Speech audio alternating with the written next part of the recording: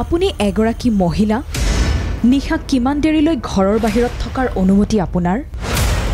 আজি weekend crime প্ৰতিগৰাকী মহিলাই চাওক। কাৰণ অসম আপোনাৰ বাবে আজিও অসুৰক্ষিত। জুলি বেজবৰুৱাৰ সৈতে নিশা ন বজাৰ পৰা।